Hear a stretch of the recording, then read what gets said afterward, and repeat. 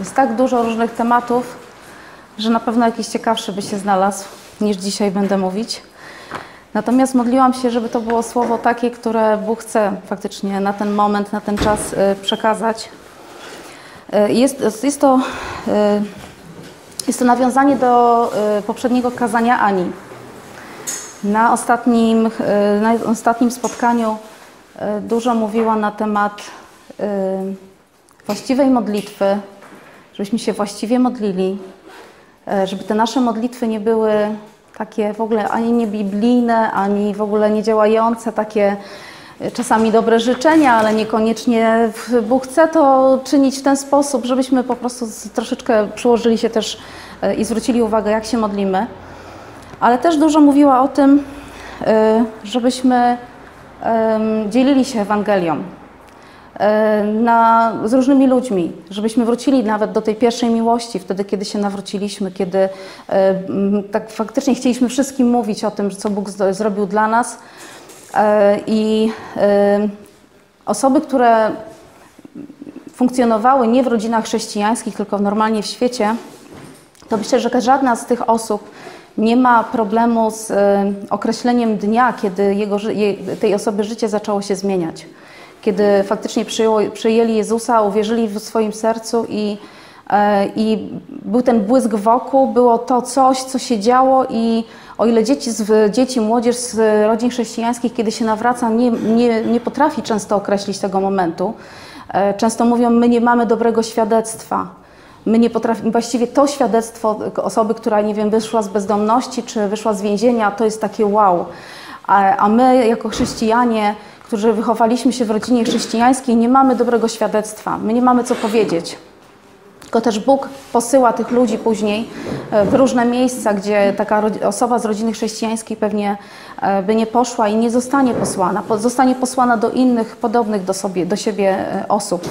E, I e, wielokrotnie słyszymy niesamowite świadectwa osób, które e, wyszły z więzienia na przykład i faktycznie przeżyły coś z Bogiem i one nie mają wątpliwości, kiedy to się stało, co to było, że faktycznie to się wydarzyło. I właśnie w nawiązaniu do tego, co, co Ania mówiła, to y, y, na początku dzielimy się, bo jesteśmy tacy emocjonalni, y, chcemy powiedzieć Bogu jak, najwię- jak najwięcej osobom o Bogu. E, Ja też pobiegłam do swojej koleżanki, która mi wielokrotnie mówiła o Bogu, ale jej w ogóle nie słuchałam. I ona taka zdziwiona mówi, że ja nie, nie wierzyłam, że ty się w ogóle kiedykolwiek nawrócisz. Więc jakby tak czasami już ktoś już e, powie, nie, to nie ma szans, właściwie ta osoba to już jest taka, że nic, nic z tej z jej nie będzie, a potem się okazuje, że nawraca się i, e, i naprawdę służy Bogu i e, wzrasta. E, Więc jakby nie możemy nigdy e, tak e, na, na kogoś, że tak powiem, e, już, e, jak to się mówi, machać ręką tak, że to już nic z tego nie będzie, bo to naprawdę nie, nie wiemy do końca. To, co Ania mówiła, jeden sieje, drugi podlewa, a, a trzeci jeszcze coś dokłada do tego, że na końcu jest efekt końcowy. Wielokrotnie bywa tak, że ktoś się o nas modlił, tak? Przez wiele lat się ktoś modlił e, i nawracamy się w końcu i ta osoba nawet jest zdziwiona, że już nie wierzyła, że ta osoba się nawróci. E, Ale ja chciałam też powiedzieć o tym miejscu, w którym, w którym jesteśmy, a mianowicie owczarnia. E, Pamiętam e, to, co mówił Zdzisiek na temat owczarni, na temat swoich planów. One wyglądały nieco inaczej wtedy, ale było w sercu i Zdziśka, i Jani, myślę, małżeństwa tutaj Michajów, tak, to razem, wielkie pragnienie na, na miejsce, które będzie miejscem, do którego będą przychodzili ludzie, y, tak jak te ow- owce, że będą mogli się w dobrym miejscu karmić, że będą mogli być w społeczności, że będzie tam ktoś, kto zadba o ich właściwy pokarm, o ich y, y, o właściwe y, takie zaopatrzenie we wszystkim. I jednocześnie owczarnia kojarzy mi się z miejscem takim dużym, nie jakimiś dwiema osobami, pięcioma osobami, tylko właśnie z miejscem, gdzie, e, gdzie to będzie e, otwarte miejsce dla wielu osób, nie tylko dla, e, dla jakiejś elity, dla super ludzi, tak, tylko dla wszystkich, dla każdego, kto chce wzrastać, kto chce budować się, kto ma chęć zmiany swojego życia. Bo tak naprawdę w chrześcijaństwie nie chodzi o to, żebyśmy chodzili do jakiegoś kościoła. Jest mnóstwo kościołów różnych.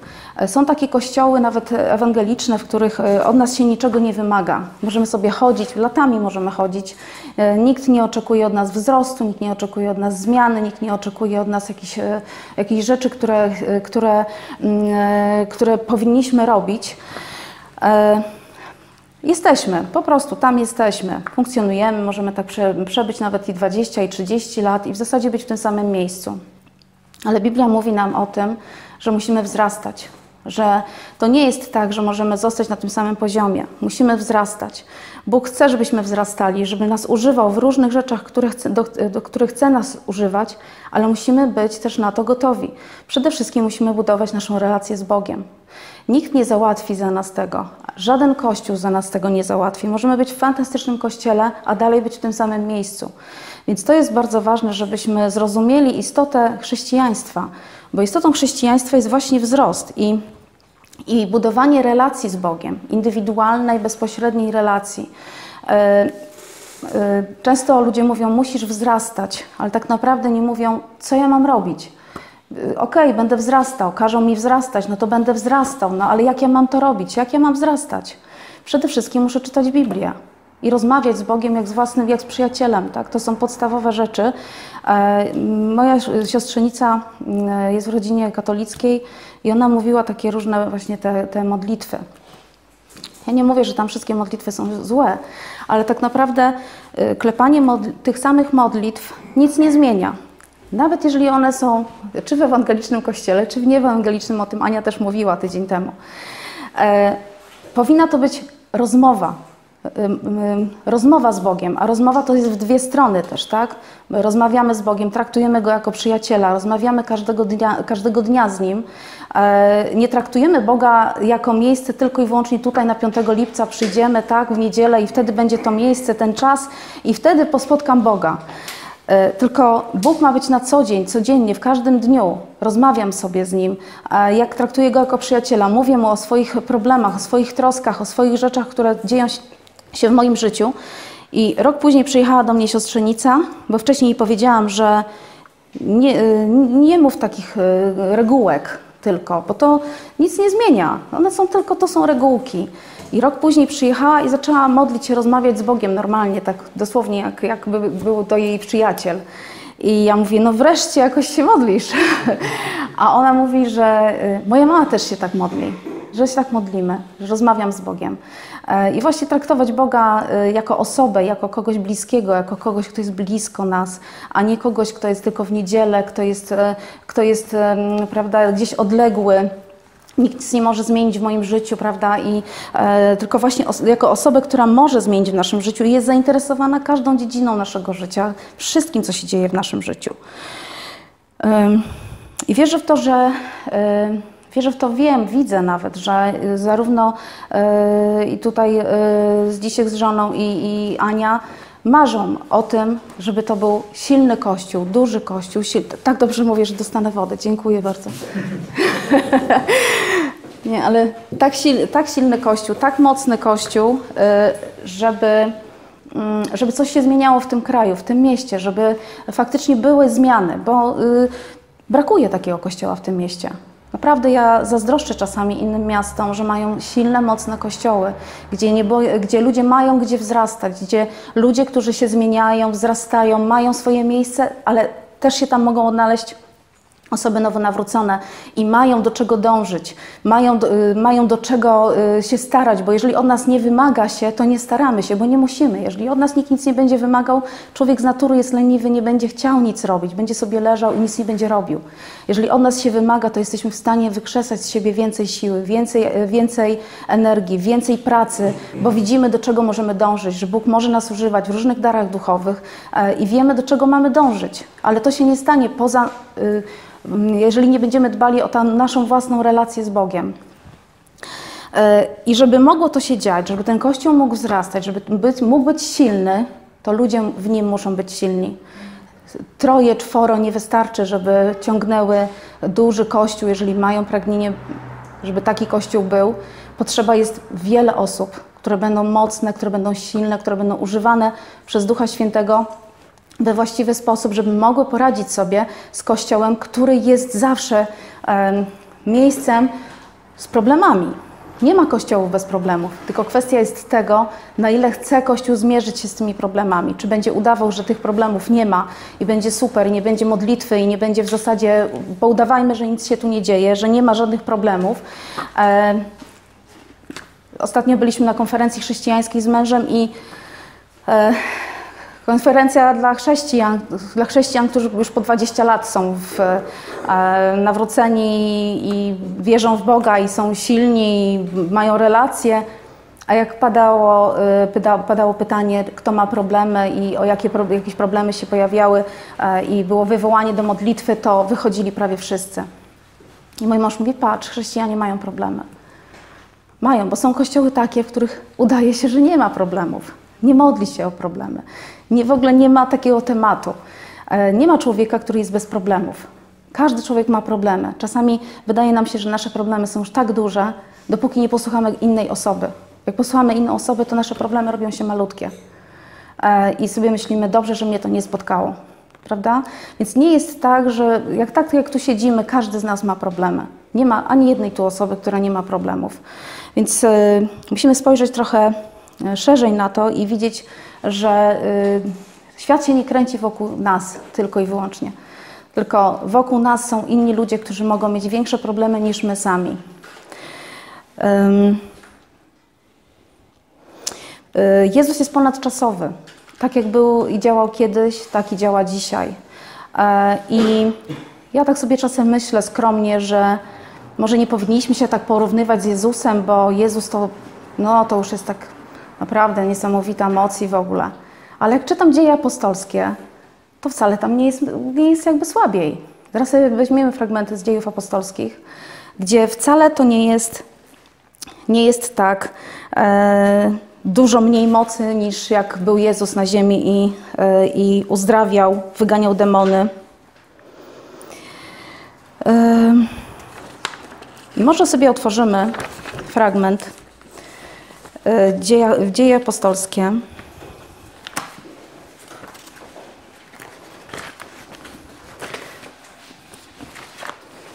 Dzieje apostolskie 5:14.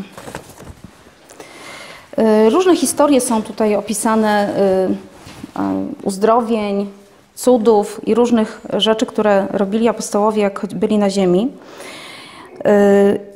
Od wersetu 14. Przybywało też coraz więcej tych, którzy zawierzyli Panu, mnóstwo zarówno mężczyzn, jak i kobiet. Było tak, że nawet na ulicę wynosili chorych, kładli ich na noszach i posłaniach, aby przynajmniej cień przechodzącego Piotra padł na niektórych z nich. Schodziły się również tłumy z miast wokół Jerozolimy. Ludzie przynosili ze sobą chorych i nękanych przez duchy nieczyste i wszyscy oni doznawali uzdrowienia. Czy nie marzy nam się takie miejsce, czy nie marzy nam się takie miejsce, które właśnie będzie przyciągało ludzi nie ze względu na to, że jest fajna kawa, że są super krzesła, że, e, że nie wiem, e, jest coś tam, tylko czy, że faktycznie dzieją się znaki i cuda, że są ludzie uzdrawiani, wyganiane, wyganiane są demony i ludzie przeżywają faktycznie przemianę. I to jest prawdziwe chrześcijaństwo. Nie to, że coś się wydarzyło raz i później zostało gdzieś zapomniane, bo żeby faktycznie funkcjonować tym, co, do czego Bóg nas powołuje, musimy w tym trwać. To nie jest tak, że raz się to wydarzyło i super, i teraz coś przeżyłam z Bogiem i jest fantastycznie. Musimy o to dbać, musimy o to się troszczyć, to można zatracić. W związku z tym trzeba o to dbać, trzeba, y, trzeba cały czas y, być blisko Boga, żeby funkcjonować w tym, do czego Bóg nas powołuje. Ja czasami jestem naprawdę y, też taka nie powiem zadziwiona, bo, bo to, to, by było takie dziwne słowo, ale, ale trochę tak jest, że jak słucham na przykład ludzi, którzy wyszli z więzienia e, i prost, prości ludzie, często okazuje się, że podstawówkę e, skończył, a mówi jakby po studiach był. Używa czasem takiego słownictwa, jakby po studiach był. To nie, nie bierze się znikąd. To Bóg daje tym ludziom słowa, daje mądrość, daje to wszystko, co e, im potrzebne jest do tego, żeby, e, żeby naprawdę móc głosić Ewangelię nie tylko nawet osobom, które są e, podobnego pokroju, ale również innym. Więc naprawdę czasami patrzymy na takie osoby i jesteśmy no, zszokowani tym, że ten człowiek kiedyś był w jakim miejscu, prawda? Więc to samo tyczy się osób bezdomnych. Wiele osób jest takich, które, e, które wyszły z bezdomności i wręcz nawet na tej konferencji były takie osoby i jak ktoś tam powiedział, że wyszedł z bezdomności, a wyglądał taki wow, no to w tym momencie człowiek myśli, jakiej bezdomności, prawda? Więc jakby Bóg jest w stanie przemienić każdego, tylko kwestia tego, na ile jest zdeterminowany i na ile chce. Zobaczcie, że uzdrowienia też działają w ten sposób, że jeżeli się modlimy o uzdrowienie, ale nie jesteśmy na tym krańcu, na tym nie jesteśmy wystarczająco zdeterminowani, żeby to uzdrowienie wziąć, to nie bierzemy. Ale jeżeli znajdziemy się na skraju, to często bierzemy to uzdrowienie i jesteśmy uzdrawiani. Że to nasza determinacja powoduje, czy pewne rzeczy zadziałają w naszym życiu, czy nie. Bo to Bóg chce nam dać, ale czy jesteśmy w stanie to wziąć? Nie zawsze jesteśmy gotowi i nie zawsze jesteśmy na tyle zdeterminowani, żeby to wziąć. Więc y, chodzi też o tą determinację w życiu chrześcijanina. Y, w dalej dzieje apostolskie 12. Poznaliśmy na tej konferencji człowieka, który, który kiedyś był takim, no, takim dealerem narkotyków, e, w zasadzie taką osobą trochę z marginesu społecznego. E, I na pierwszy rzut oka nawet tak w zasadzie trochę wyglądał. W sensie y, dobrze był ubrany i potem y, ubranie miał w porządku, ale y, czasami się widzi, że ktoś już tam powiedzmy ma tak, taki wygląd. E, jak zaczęliśmy rozmawiać z tą osobą, okazało się, że niesamowicie jest używana przez Boga w e, słowie wiedzy. Bóg mu mówi o pewnych rzeczach, e, które się wydarzą, które ma pojechać gdzieś, ma spotkać określonych ludzi, ma określone rzeczy powiedzieć. I faktycznie to się dzieje i to nie jest jakaś fikcja. I on to robi i faktycznie spotyka tych ludzi w tym miejscu, mówi im pewne rzeczy i ci ludzie mówią, tak, to, to i to było w moim życiu. Więc to nie jest tak, że Bóg ma jakichś wybrańców. Bóg każdego używa e, i chcielibyśmy, żeby to się działo dzisiaj, żeby to e, było takie codzienne w naszym życiu i e, przykład tego akurat człowieka pokazuje, że to jest w naszym życiu dzisiaj, że to się dzieje, że to nie jest coś, co było tylko w dziejach apostolskich, a w dziejach, w dziejach apostolskich czytamy różne historie i między innymi dzieje apostolskie 12 i od trzeciego. A gdy zobaczył, że to się podoba Żydom, Posunął się dalej i schwytał również Piotra. E, a tam było o tym pojmaniu. E, było to w czasie święta prześników. Po aresztowaniu osadził go w więzieniu i przekazał pod straż czterem czwórkom żołnierzy, zamierzając po święcie Paschy urządzić mu publiczny proces. Strzeżono więc Piotra w więzieniu. Kościół natomiast trwał w usilnych modlitwach za nim do Boga. W noc poprzedzającą zaplanowany przez Heroda proces, Piotr, skuty dwoma łańcuchami, spał pomiędzy dwoma żołnierzami. Ponadto strażnicy strzegli drzwi więzienia. Wtem stanął przy nim anioł Pana. W celi rozbłysło światło. Anioł trącił Piotra w bok, obudził go i powiedział: Wstawaj, czym prędzej. Z rąk Piotra opadły łańcuchy. Przepasz się, usłyszał i załóż sandały. Posłuchaj, posłuchał, za, y, y, zarzuć płaszcz, polecił anioł i idź za mną. Wyszedł więc i ruszył za nim, lecz nie sądził, że to, co się z nim, za, y, z nim za sprawą anioła dzieje, jest prawdą. Myślał raczej, że ogląda widzenie. Tymczasem minęli pierwszą straż, drugą, doszli do żelaznej bramy prowadzącej do miasta, która im się sama otworzyła. Wyszli na zewnątrz, przeszli jedną ulicę i nagle anioł znikł. Gdy Piotr doszedł do siebie, stwierdził: Teraz wiem na pewno, że Pan posłał swego anioła, wyrwał mnie z ręki Heroda i uchronił przed tym wszystkim, na co czekał lud żydowski. Gdy to sobie uświadomił, udał się do domu Marii, matki Jana, którego nazywano Markiem, gdzie wiele osób zgromadziło się i modliło. Piotr zakołatał do bramy, wtedy podeszła Rodę, służąca i nasłuchiwała. Gdy rozpoznała głos Piotra, z radości nie otworzyła. Y, Piotra z radości nie otworzyła bramy, ale pobiegła z powrotem z wieścią, że Piotr stoi na zewnątrz. Oszalałaś, rzekli. Ona jednak upierała się, że jest tak, jak mówi. Wówczas stwierdzili, to jest anioł. Piotr jednak nie, nie przestawał kołatać. Gdy więc otworzyli drzwi i zobaczyli go, nie posiadali się ze zdziwienia. On zaś dał im znak ręką, by ucichli i opowiedział, jak Pan wyprowadził go z więzienia. Powiadomcie o tym Jakuba oraz braci y, zakończył. I zobaczmy, że y, w zasadzie na porządku dziennym działy się znaki i cuda. Znały się takie, działy się takie rzeczy, które, które chcielibyśmy dzisiaj my oglądać. E, a mimo wszystko, jak anioł wyprowadził Piotra e, z więzienia, to też nie chciał wierzyć. Dopiero wyszedł na zewnątrz i zobaczył, że jednak tak, że to anioł go wyprowadził. Pobiegł do ludzi, którzy się o niego modlili, a oni powiedzieli: Nie, to anioł, to nie może być on. Modlimy się, a nie wierzymy. Prawda? Czasami modlimy się, oddajemy Bogu pewne sprawy, potem one się dzieją, a mówimy: Nie, to nie Bóg, to nie anioł, to nie taki, to po prostu to mi się wydawało. Więc jakby e, też, też czasami nie wierzyli w pewne rzeczy, ale widzieli, że namacalnie faktycznie to się działo, więc, więc e, gdzieś tam przychodziło to takie przekonanie o tym, że Bóg z nimi jest, Bóg chce działać i i chcę y, faktycznie, żeby te cuda i znaki były. Czyli to nie jest tak, że to jest nasze tylko e, takie pragnienie i takie coś, co my chcemy, tylko Bóg chce, żeby tak było, bo to przekonuje ludzi niewierzących. E, wierzących również, tak? Czasami myślimy sobie, a może Bóg nie działa, sprawdźmy, czy jeszcze te języki, czy jeszcze mówimy w innych językach, prawda? Sprawdzamy, nie, no działa, no to to jest coś namacalnego. Jeżeli dostajemy, jeżeli jesteśmy uzdrowieni, y, ja osobiście byłam uzdrowiona. E, I też dopiero się to stało wtedy, kiedy byłam w, takim, w takiej sytuacji, kiedy ja mówię, już się nie da tak żyć. Już się nie da tak żyć, że po prostu to uzdrowienie jest e, niezbędne do życia. I wtedy, I wtedy okazuje się, że to uzdrowienie jest i możemy je wziąć. A jeżeli jest nam dobrze i w zasadzie, no, w zasadzie to jest lub nie jest, jak bez tego też przeżyje, to nie potrafimy tego uzdrowienia nawet wziąć. E, I jeszcze chciałam pokazać Wam jeszcze, e, co się działo jeszcze w dziejach apostolskich, bo to był Kościół mocy, cudów, uzdrowień, działania Ducha Świętego i to nam się marzy dzisiaj. Więc myślę, że powinniśmy się wzorować na dziejach apostolskich. Powinniśmy tak samo jak oni być zdeterminowani, być tacy mocni w tym, być bezkompromisowi. E, założenie Kościoła dzisiaj to nie jest wcale łatwa decyzja. To jest to, że małżeństwo Michałów i Ania założyli ten Kościół, to jest odważna decyzja. To jest bezkompromisowość dzisiaj. To nie jest takie y, coś, że a założę sobie, nie założę, a może będzie, a może nie będzie. Jeżeli mam pragnienie, żeby to, ten kościół się rozwijać, to jest poświęcenie, to jest odwaga, to jest bezkompromisowość w wielu rzeczach.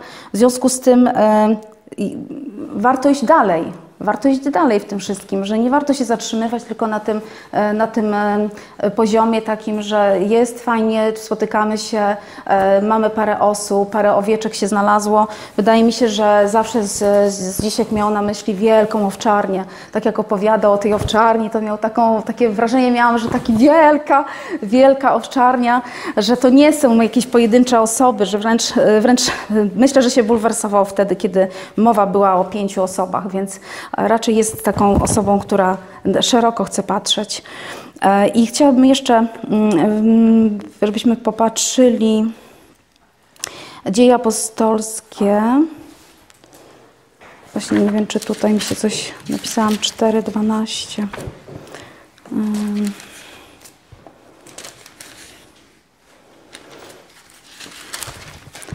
Ale to chyba nie to. Nie.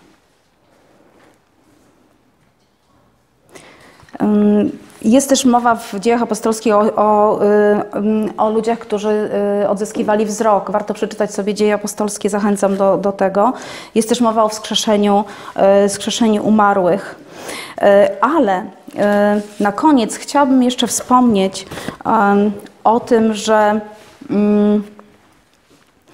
to wszystko, co dzieje się w naszym życiu, jak żyjemy, ma ogromne znaczenie że to, y, to, że chcemy się zmieniać, chcemy przychodzić do kościoła, chcemy spotykać się z ludźmi, e, postanawiamy y, wzrastać, czyli postanawiamy traktować Jezusa jako przyjaciela, czytać Biblię każdego dnia, e, modlić się, rozmawiać z Bogiem, to jeszcze okazuje się, że to nie jest wszystko, tak? że to jest e, początek, a później zaczyna, później zaczyna być przemiana. I z jednej strony możemy mówić, że mm, że Bóg za dużo od nas wymaga, że no, my mieliśmy takie straszne życie, że w zasadzie ciężko jest teraz e, żyć tak po chrześcijańsku. E, a się okazuje, że im bardziej wzrastamy, im bardziej się zmieniamy, tym z Bogiem jest dużo łatwiej pewne rzeczy robić. I chciałabym, żebyśmy przeczytali sobie z Efezjan z czwartego rozdziału.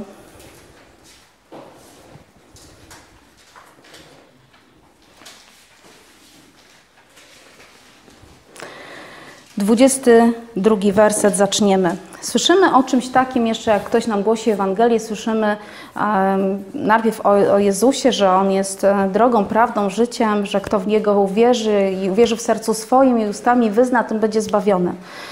E, I słyszymy to. Za chwilę słyszymy, że, e, że stajemy się nowym człowiekiem. Stare przeminęło, e, teraz jest nowy człowiek. Ale co to znaczy ten nowy człowiek? Czasami mówią do nas osoby różnymi sloganami, które nie są dla nas zrozumiałe.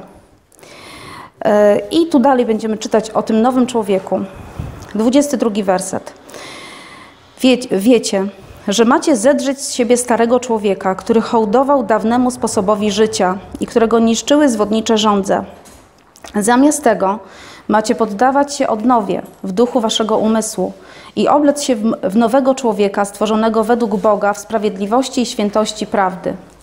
I teraz co my musimy robić, żeby ten nowy człowiek się pojawił? Robić. Właściwie, ja powiem tak, to nie do końca działa w ten sposób, że my własnymi siłami mamy to robić. Zawsze gdzieś tam się mm, nie zgadzałam z tym, jak ktoś próbował e, drugą osobę trochę na siłę przekonać do tego, żeby nie robiła tego, tego czy tamtego. To jest bardzo trudne.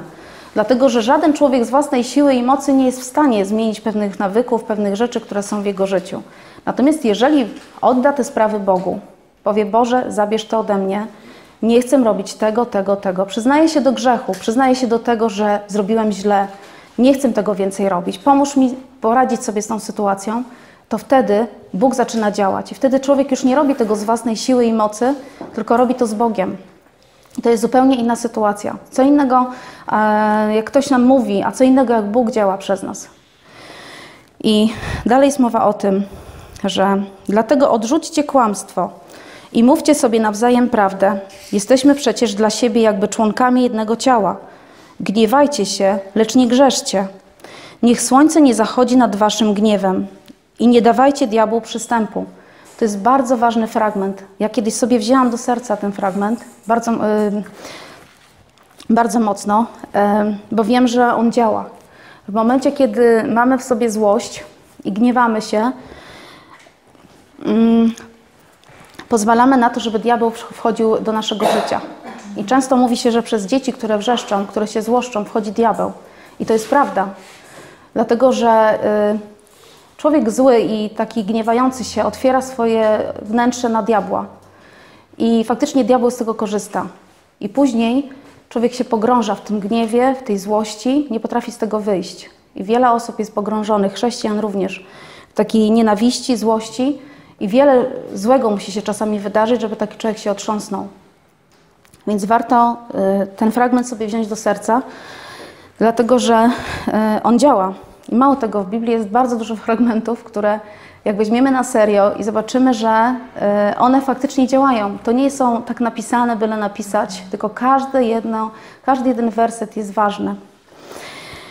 I da, dalej. Kto kradnie, niech kraść przestanie i raczej ciężko pracuje, aby miał z czego wspierać potrzebujących. Niech z waszych ust nie wychodzi żadne zepsute słowo. Mówcie tylko o tym, co dobre, dla zbudowania w potrzebie, tak by na słuchających mogła spływać łaska. Nie zasmucajcie też Bożego Ducha Świętego, którym was opieczętowano na dzień odkupienia. Usuńcie spośród siebie wszelką gorycz i gwałt, gniew, krzyk i oszczerstwo. Nie tolerujcie po swojej stronie najmniejszej niegodziwości. Bądźcie jedni dla drugich mili i serdeczni. Przebaczajcie sobie nawzajem, podobnie jak wam Bóg przebaczył w Chrystusie. Jakie to są ważne rzeczy w Kościele i nie tylko. E, ale w kościele można powiedzieć szczególnie, dlatego że e, im to jest tak jak może czasami niekoniecznie jestem za tym, żeby aż tak porównywać kościół do rodziny, ale trochę tak jest, są te same relacje. W rodzinie, jeżeli ludzie przebywają ze sobą, pojawiają się różne sytuacje. Jeżeli nie będą budowali tych relacji na przebaczeniu, to później dojdzie do sytuacji, w których pewne rzeczy będą się złe działy. I tak samo jest w kościele. Jeżeli ludzie przebywają ze sobą, jeżeli robią różne rzeczy razem, mm, spotykają się, to pojawiają się różne trudne sytuacje, które mogą nas jako ludzi zniechęcić do siebie, bo ktoś krzywo spojrzał, bo ktoś coś tam zrobił, bo ktoś, e, nie wiem, czegoś nie zauważył, ktoś się pogniewał, albo jeżeli nie będzie budowana ta e, społeczność na przebaczeniu i na takiej relacji miłości, to y, z czasem y, więcej krzywdy z tego może wyjść niż dobrego, bo nikt tak bardzo nie rani jak ludzie bliscy. E, tak jak w rodzinie czujemy się zranieni, najbardziej nas może, sąsiad może nas obrażać, ale jak nas obrazi mąż czy dzieci, no to już w tym momencie jest, czy żona, tak, to jest zupełnie inaczej, dużo bardziej to boli. I tak samo jest w kościele, jeżeli z kimś przebywamy, poświęcamy czas w to miejsce, angażujemy się i potem ktoś nas y, obrazi i y, źle nas potraktuje, y, to czujemy się bardzo dotknięci i, dochodzimy do wniosku, że nie warto było się starać, bo im więcej starania, tym gorzej. Ale właśnie relacja w kościele powinna być wzorem takiej relacji, gdzie, gdzie ludzie ucząc się na tym, co dzieje się w kościele, mogą budować swoje rodziny we właściwy sposób. Dlatego, że e, mimo różnorodności można y, y, przejść nad, tym, przejść nad tym, ponad tymi różnymi naszymi indywidualnymi cechami, które są pozytywne, negatywne, różne. Różni ludzie, różne, różne osobowości, różne zachowania czasami. Czasami te zachowania z czasem ulegają zmianie, dlatego że jeżeli ktoś wychodzi z jakiegoś środowiska, to on przynosi nam to środowisko, ale z czasem, jeżeli przebywa w innym środowisku, te zachowania się zmieniają, nawet nie ma świadomości tego. Ja prowadziłam takie szkolenia dla opiekunek dziecięcych i przychodziły różne osoby. E, I na przykład przychodziły tak ubrane, że no na opiekunkę się nie nadawały. Ale ja ich na przykład nie przekreślałam od razu. Tylko rozmawiałam z taką osobą i mówię, że no, na opiekunkę to nie jest odpowiedni strój. Że generalnie no, opiekunka powinna być ubrana w taki, w taki, w taki, w taki sposób. I ta osoba, młoda osoba, mówiła, ale ja myślałam, że jestem ładnie ubrana. Tak mi zawsze mama mówiła, że ja jestem tak ładnie ubrana. Ja mówię, bo jesteś ładnie ubrana, tylko nie w to miejsce, gdzie chcesz iść. Że musimy wiedzieć, jak się czasami zachować, czy jak się y, ubrać, czy jak, jak, jak postępować w danym miejscu. Więc y, tego się też uczymy, tak?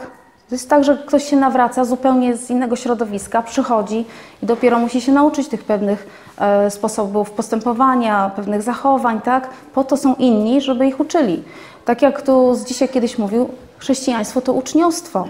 To jest uczenie się, tak? To jest nauka przez całe życie. My do końca życia, każdy z nas będzie się uczył i przechodził dalej, dalej, dalej. I to nie jest tak, że my możemy w którymś momencie powiedzieć, już wszystko wiem, wszystkiego się nauczyłem, niczego nie muszę zmieniać. Całe życie będziemy uczniami. I dalej, naśladujcie Boga jak ukochane dzieci. Żyjcie też w miłości, podobnie jak Chrystus. On nas ukochał i dla naszego ratunku dobrowolnie złożył siebie Bogu na ofiarę niczym piękny zapach. Natomiast nierząd, różnego rodzaju nieczystość lub chciwość, niech, niech nawet nie będą wspomniane wśród Was. To niegodne świętych, tak samo jak nieprzyzwoitość, powtarzanie głupstw czy błaznowanie. E, ostatnio jest taka moda w kościołach przez młodych ludzi, taka promowana, takie błazeństwo, e, takie rozśmieszanie, takie trywializowanie, czyli takie upraszczanie wszystkiego. E, jakby młodzi ludzie przychodząc do takiego miejsca, gdzie pastor jest takim błaznem, nie potrafią dostrzec tego, dostrzec tego sedna, o co chodzi w chrześcijaństwie że przechodzą na, ten, na, tą, na ten poziom takiej płyt, płyt, płytki i zostają na tym poziomie, bo im się wydaje, że to chrześcijaństwo polega na tym, że sobie razem pośpiewamy, razem pokleszczemy, razem, prawda, będzie ciemno jak na, na, e, na koncercie, razem sobie poskaczemy, ale nie ma nic za tym. Ja nie mam nic przeciwko takim kościołom, w których taka atmosfera jest prowadzona. To, to jest emocjonalność i i dobrze, niech tak będzie, jeżeli komuś pasuje. Natomiast dobrze by było, żeby jeszcze było coś poza tym, żeby było jasno powiedziane e, o e, zmianie życia, o tym, żeby y, żeby oddawać swoje życie Bogu, żeby, on, żeby pozwolić na zmianę. Bo często my jako ludzie nie, nie pozwalamy na zmianę. Bóg chce nas zmieniać, ale my nie chcemy, po prostu blokujemy to włas, własnym ja. Że my wiemy lepiej, albo Bóg nie działa. Trochę tak jak ten Piotr, który wychodził z więzienia. Nie, nie, to chyba nie anioł. Ale potem wychodzi, że faktycznie anioł. Że Bóg go wyciągnął z tego więzienia. E, I Bóg chce nas wyciągać z tego więzienia, bo każdy z nas ma swoje więzienie. Każdy z nas ma swoje własne więzienie, w którym sam się zamknął. I największym problemem w rozwoju to jesteśmy my sami, którzy blokujemy pewne rzeczy, które Bóg chce przez nas działać, a my mówimy nie, nie, nie. Ja trochę jestem takim niewiernym Tomaszem, przyznaję, bo mnie się musi wiele rzeczy wydarzyć, żebym ja zaskoczyła i stwierdziła tak, to jest racja. Mój mąż na przykład jest, jest e, używany w, w, w snach proroczych i zanim ja uwierzyłam w te jego sny prorocze, musiało dużo czasu minąć. Na początku to sobie trochę żarty stroiłam z tego.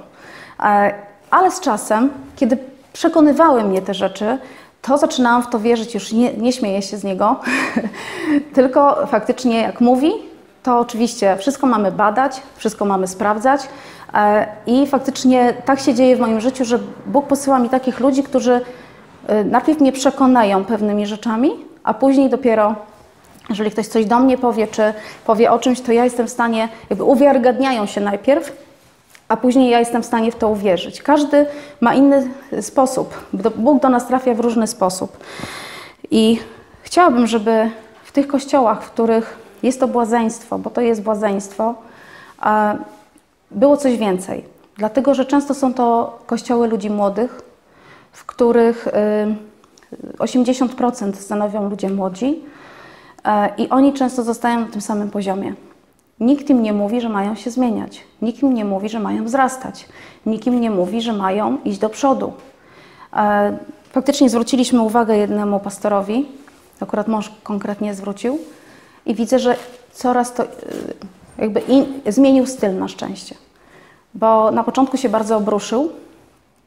E, no Facebook jest dzisiaj takim medium, w którym się różne rzeczy dzieją. I akurat przez Facebook Y, mój mąż zwrócił uwagę tej osobie.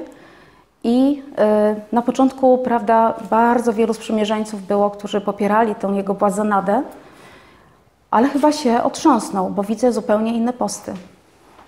Widzę że zupełnie inne posty i myślę, że jako chrześcijanie powinniśmy zwracać uwagę innym chrześcijanom na to, bo często łatwo nam oceniać ludzi niewierzących, a sami siebie nie potrafimy e, korygować, bo to są korekty. To jeżeli to jest e, konstruktywna uwaga, to ona przynosi zmianę. Jeżeli to jest tylko krytyka, która nic nie przynosi, to lepiej nie krytykować. Ale jeżeli to jest konstruktywna zmiana, to warto czasami napisać czy powiedzieć komuś coś takiego, co zrobi, co wykona pracę i, i będzie przemiana. Bo zwłaszcza liderzy, pastorzy, to są osoby, które ciągną inne. Jeżeli one będą nieprzemienione i one będą błaznować, to niestety, ale Y, zmiana innych osób będzie tylko naszym pobożnym życzeniem, a od pobożnych życzeń nie zmieniają się ludzie. I dlatego warto pamiętać też o tym, że czasami warto powiedzieć komuś coś. I jeżeli ta osoba jest otwarta na krytykę, jest otwarta na zmianę, to też pokazuje jej postawę serca. Bo jeżeli możemy się na początku buntować, bo każdy człowiek buntuje się, jak ktoś komuś zwróci uwagę, to na początku jesteśmy tacy wręcz źli, prawda? Jesteśmy tacy zbulwersowani tym, że jak śmiał tak nam powiedzieć. Nie wiem, jak wy tak macie, ja tak mam. Ale później z czasem Duch Święty wykonuje pracę. I dochodzimy do miejsca, w którym mówimy tak, tak, to było, to, to, to jest prawda. Ta osoba miała rację. Ta osoba miała rację. Ona powiedziała coś, co, y, co powinno mi zwrócić dawno, dawno temu powinnam zwrócić na to uwagę, ale nie zwróciłam, bo jesteśmy zagonieni, bo się zajmujemy czymś innym, bo mamy jakieś swoje własne pomysły i dlatego nie przyjmujemy pewnych rzeczy. I chciałabym dalej jeszcze przeczytać, bo to jest bardzo dobry fragment. Tak samo jak nieprzyzwoitość, powtarzanie głupstw i poznawanie. Nam przystoi wdzięczność, tego bowiem możecie być pewni, że żadna osoba rozwiązła, nieczysta, chciwa, to znaczy służąca innym sprawom zamiast Bogu, nie ma udziału w Królestwie Chrystusa i Boga. Niech was nikt nie zwodzi pustymi słowami, to właśnie z ich powodu gniew Boga spada na ludzi, którzy go odrzucają. Nie bądźcie zatem ich wspólnikami. Kiedyś wprawdzie byliście ciemnością, teraz jednak światłem w Panu. Poczynajcie więc sobie jako dzieci światła, a owoc światła wyraża się we wszelkiej dobroci, w sprawiedliwości i prawdzie. Jako tacy skupiajcie się na tym, co jest miłe Panu. Nie bądźcie uczestnikami bezowocnych czynów ciemności. Obnażajcie raczej ich bezwartościowość, bo o tym, co się wśród ludzi nieprawych potajemnie dzieje, wstyd nawet mówić. A wszystko to staje się jasne dzięki światłu. Światło ujawnia ukryte sprawy. Dlatego czytamy: Obudź się, który śpisz, powstań z martwych, a zajaśnieje ci Chrystus. I tak jak mi, powinniśmy mieć świadomość tego, że Bóg widzi wszystko. I nawet jak światło zgaszone, to też widzi. Policzone nasze y, włosy na głowie są przez Boga. I czasami ludziom się wydaje, że jak wyjdą z kościoła, to już Bóg ich nie widzi. A Bóg dalej tam jest i Bóg nas widzi. I powinniśmy mieć tą świadomość, że mm, powinniśmy żyć w tej bojaźni Bożej. Nie w strachu przed Bogiem, ale w bojaźni Bożej. Że jeżeli żyjemy tak, jak Bóg chce, żebyśmy żyli, jeżeli jesteśmy w woli Bożej, Bóg będzie nam błogosławił i będzie nam się dobrze działo. Ale jeżeli będziemy wychodzić spod tej woli Bożej, będziemy wychodzić z tego, spod tego błogosławieństwa, to niestety, ale będą nas spotykały różne rzeczy i nie będziemy mogli sobie czasem z nimi poradzić. Natomiast to nie wcale nie oznacza, że jeżeli będziemy żyli w błogosławieństwie i będziemy dokładnie w woli Bożej, będziemy wykonywać to, co Bóg y, chce, żebyśmy wykonywali, to nie będziemy mieli problemów. Będziemy mieli problemy, ale będziemy inaczej te problemy rozwiązywać, będziemy inaczej patrzeć na te problemy, będzie zupełnie inna, inna perspektywa. I nasz sposób myślenia też ulega zmianie. Kiedyś rozmawiałam z osobą młodą, która wiele lat, no jest kilka lat w kościele i do tej pory nie usłyszała tego, że nie jest napisane w Biblii, że jeżeli się nawrócimy, to wszystko wokół się nas zmieni. Nie jest tak napisane. Nawet mało tego, jak sobie przejdziemy do dziejów apostolskich, to tam się dużo rzeczy działo różnych. E, wręcz takich, można powiedzieć, że ataków na apostołów. Więc to nie jest powiedziane, że nagle znikną nasze problemy, że nagle będziemy żyli sobie w jakimś super sielankowym świecie, że wszystko będzie fantastyczne. E, I ta osoba miała problem ze swoją mamą. E, ta mama była dla niej bardzo nieprzyjemna, e, wręcz no, była jakąś taką choleryczką skrajną, która doprowadziła do tego, że ona się całkowicie emocjonalnie wycofała z takiego życia i miała problemy, chodziła do terapeuty, starała, sobie, starała w ten sposób sobie pomóc z tym problemem. I nie mogła ciągle zrozumieć, że to nie jest kwestia tego, że jej mama teraz musi też pójść do terapeuty. E, najlepiej jak cała rodzina pójdzie do terapeuty, a właściwie wszyscy znajomi niech idą do terapeuty, wszyscy pójdziemy do terapeuty. I ja mówię do niej, to nie tak działa. To nie jest kwestia terapeuty, to jest kwestia Twojej głowy, to jest kwestia Twojego myślenia, to jest kwestia Twojej przemiany. Że to nie to, że wokół Ciebie się wszystko zmieni, ale Ty się zmienisz. I teraz te osoby, które działają koło Ciebie, one nie będą miały już takiego wpływu na Ciebie. Ty będziesz po prostu inaczej to odbierać. Ty będziesz silniejsza w tym wszystkim, będziesz miała pokój, radość od Boga, miłość i nie będziesz patrzyła już na tą swoją mamę jako na taką osobę, która cię skrzywdziła, tylko Bóg ci da miłość do tej osoby. I nie będziesz chciała wszystkich do terapeuty pchać, dlatego że terapeuta nie rozwiąże naszych problemów. Terapeuta może nam trochę pomóc w niektórych rzeczach, ale to terapeuta nam nie rozwiąże problemów. To nasza przemiana, my musimy sami się zmienić, żeby postrzegać świat inaczej. Czytałam jedną książkę, w, którym, w której były dwie kobiety, patrzyły w tą samym kierunku. Jedna widziała słońce, a druga widziała błoto. Sposób myślenia, przemiana umysłu to jest ten sposób myślenia e, na otaczający nas świat, a nie, że świat się zmieni, bo świat się nie zmieni, świat pozostanie taki sam. Więc jakby zachęcam do tego, żeby wzrastać w Bogu poprzez rozmawianie z Bogiem, a do tego nie potrzeba nam nic więcej, tylko e, nawet nie chwilę czasu, bo możemy, tak jak Ania mówi, jadę samochodem. Y, ja też wielokrotnie wykorzystuję to, jeżeli jadę samochodem, czy idę sobie gdzieś, czy nawet jechałam częściej kiedyś tramwajami, czy autobusami, można sobie rozmawiać z Bogiem i w tym momencie jakby mamy ciągły kontakt z Bogiem i Bóg nas zmienia. Dodatkowo jak czytamy Biblię, też Bóg nas zmienia. I to od nas zależy, jak daleko dojdziemy, jakie życie nasze będzie wyglądało. To nie zależy od, e, od pastorów, to nie zależy od e, liderów, to nie zależy od nikogo innego. To zależy od nas samych. ile pracy w to włożymy, takie efekty będą. Także życzę powodzenia w przemianie umysłu i serca. Dziękuję bardzo.